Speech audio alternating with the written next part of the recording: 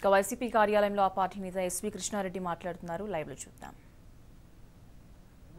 కాదు అయినా సరే తనే ఒక టెక్నీషియన్లా దాన్ని సెట్ చేసి మనకి దానికి ఆ సెల్ఫీ తీసి ఇవ్వటం ఇలాగ ఒకటి కాదండి ఇన్ని రకాలైనటువంటి ఇది మేము చూసాము మా కళ్ళారా. అంతటి వ్యక్తి ఇంత శ్రమ పడుతూ నిజానికి ఆయనకు ఉన్నటువంటి స్టేజ్కి కానీ ఆయనకు ఉన్నటువంటి రేంజ్కి కానీ ఎందుకు ఈ శ్రమ అనుకుంటే వేరేలా ఉంటుంది. కానీ ఇదంతా నాకు కావాలి నా వాళ్ళు నా ప్రజలు నా వ్యక్తులు నా సొంత మనుషులు వీళ్ళందరూ ఇంత బాధపడుతూ ఉంటే నేను ఆదుకోవాలి నేను కాసుకోవాలి. ఇది ఇది నాకు నాకు అవసరం నేను చేయాలంటే అన్న ఒక తపనను చూడండి.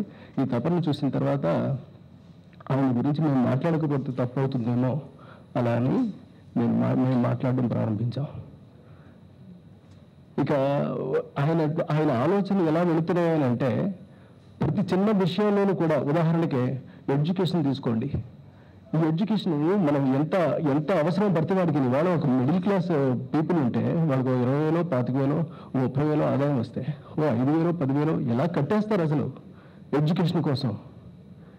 ఎడ్యుకేషన్ లేకపోతే మనం ఎక్కడుంటాం ఇవాళ ఎడ్యుకేషన్ లేకపోతే మనం అసలు ఎందుకు పనికొస్తాం మరి పనికి పనికి రావాలి పనికొచ్చేలా తయారు చేసుకోవాలని చెప్పేసి ఆ చిన్న జీతంతో వాళ్ళు పడేటటువంటి ఆవేదన ఎంత ఉంటుంది ఉన్నది దానికి కట్టేసి బ్యాలెన్స్ ఏదో కాస్త కోస్తా మిగిలితే ఇంటిది కట్టేసి ఎలా బ్రతుకుతాడు అతను? మరి ఇవన్నీ ఎలా ఆలోచించడం ఎవరు ఆలోచిస్తున్నారు? ఆలోచించే వ్యక్తి మనకు కావాలి మనకు అవసరం రావాలి. అందుకే జగన్ వస్తే బాగుంటుంది అన్నటువంటి ఒక ఖచ్చితమైనటువంటి అభిప్రాయంతో మేము ముందుకు వచ్చి వాళ్ళు మీ ముందు ఇలా మాట్లాడుతున్నాం. అతను వస్తే ఎన్నో రకమైన ఎన్నో రకాలుగా అంటే not only the education but also the health యాక్చువల్గా ఈ రెండు ఈ ప్రపంచానికి పూర్తిగా ఉచితంగా ఉండాలి. ఎవరి కోసం చదువుకుంటాడు? ఈ ప్రపంచం కోసం లేదు ఎవరి కోసం అసలు బ్రతుకుతాడు మనిషి? హెల్త్ బాగుంటేనే కదా బ్రతికేది. మరి బ్రతికేది ఎవరి కోసం? అట్లాంటప్పుడు మరి బ్రతికేది ఎవరి కోసం? ఈ ఎడ్యుకేషన్ ఎవరి కోసం? అంటే మనం చదివే చదువు కానీ మనం బ్రతికే బ్రతుకు కానీ మన ఆరోగ్యం కానీ ఇది కంప్లీట్గా ప్రజల కోసమే అయినప్పుడు మరి అవి మనకు ఉచితంగా రావద్దు. అవి కనీసం మనకు అందుబాటులో ఉండొద్దు. సో అందుబాటులో ఉండాలనేటటువంటి ఒక తపనతోటి ఆయన చేస్తున్నటువంటి ప్రతి పని కూడా మన మనసుకు బాగా నాటుకున్నాయి. ఆయన చేస్తున్నటువంటి ప్రతి అంశము కూడా మమ్మల్ని రేకెత్తించాయి. అరే ఇతను ఇంత బాగా ఆలోచిస్తున్నాడే ప్రజల కోసం. వాళ్ళ నాన్నగారు ఎలా ఆలోచించేవారు? ఎగ్జాక్ట్గా అలాగే అదే పద్ధతిలో అదే రూట్లో ఈయన ఆలోచిస్తూ ఉన్నప్పుడు మాకు ఏమనిపించేదని ప్రతిసారి ప్రతి విషయంలోనూ కూడా ఆయన ఆయన ఆర్ద్రత ఆయన యొక్క కమిట్మెంట్ చూస్తున్నప్పుడు సైలెంట్గా ఉండడం కరెక్ట్ కాదు. Yes it is better we have to talk అందుకే ఇలా మీ ముందుకు రావడం జరిగింది. తర్వాత ఎలాంటి సిట్యువేషన్ అయినప్పటికీ కూడా ఆయన స్పందన ఒకేలా వెళుతుంది. నేను అది ఒకటి అబ్జర్వ్ చేశాను. సున్నితంగా ఎక్కడ ఎలాంటి కాంట్రవర్సరీ లేకుండా ఎలాంటి ఇబ్బందికరమైనటువంటి పరిస్థితులు ఎదురవ్వకుండా తనకు తాను చూసుకుంటూ తన పరిస్థితిని సరిదిద్దుకుంటూ తాను వెళ్ళే విధి విధానం ఉంది చూడండి. ఇది నాకు చాలా బాగా నచ్చింది ఆయన దగ్గర. ఎక్కడ ఏం జరిగితే ఎలాంటి కొట్లాటలు జరుగుతాయో ఒకవేళ ఎలాంటి ఒక మాట మనం బయటకు వదిలేస్తే అది ఎలాంటి ఇబ్బందులు గురి చేస్తా అన్నటువంటి భావన ప్రజల పట్ల శ్రేయస్సు ఆలోచించేవాడు తప్ప మిగతా వాళ్ళు చేయలేరు ఆ పని. అతను ప్రజల పట్ల శ్రేయస్సు ప్రజల శ్రేయస్సు ఆలోచిస్తున్నాడు కాబట్టి అంత చక్కగా ఆలోచించగలిగాడు.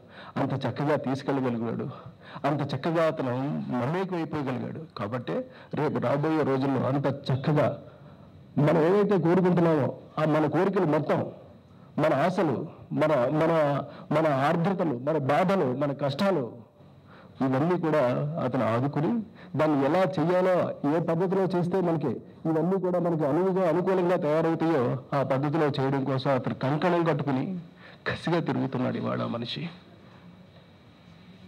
I like that man I like that attitude I like that behaviour I like that spirit ఆ ఏజ్లో is the man with the spirit అసలు మనిషికి అలసట లేదా అనిపిస్తూ ఉంటుంది చూస్తూ ఉంటేనే. అసలు ఎండను తట్టుకోవడం ఎవరి వల్ల అవుతుంది? గంట సేపు తిరిగితే చాలు. మనకి చెమట్లు పట్టేస్తే ఇంకో గంట అయితే సమస్యలు పడిపోయే పరిస్థితుల్లో ఆ ఎండలో ఉదయం మొదలు పెడితే రాత్రి వరకు ఇన్ని వేల కిలోమీటర్లు తిరగడం దేనికి? ఎస్ అవసరం. తనకు కాదు తన ప్రజలకే. కేవలం తన ఒక్కడి కోసం కాదు తను నమ్ముకున్నటువంటి ప్రజలకి ఇది అవసరం కాబట్టి ఆ అవసరాన్ని గుర్తించి ఆ అవసరం వైపు ఆలోచించి ఏం చేస్తే బాగుంటుంది అనేటటువంటి ఒక ఒక బిగ్గెస్ట్ ఒక భగవద్గీత లాంటి దాన్ని తయారు చేసుకోవడం కోసం ప్రజల మధ్య తిరుగుతూ తిరుగుతూ తిరుగుతూ ఎన్ని పుస్తకాలు రాసేసుకుని ఉంటాడో అతను ఎన్ని అభిప్రాయాలకి వచ్చాడో వచ్చే ఇవాళ నవరత్నాలనే ఒక అందమైన పదంతో ఒక అద్భుతమైనటువంటి రీతిలో మన అందరికీ కొన్ని పాలసీస్ ఇవి కేవలం చెప్తున్నటువంటి పాలసీస్ రేపు పొద్దునకి ఎన్ని చేస్తాడో ఈ వ్యక్తులకి ఈ కుటుంబానికి ఒక లక్షణం ఉంటుంది. మాట ఇస్తే మడం తిప్పరు. మాట ఇస్తే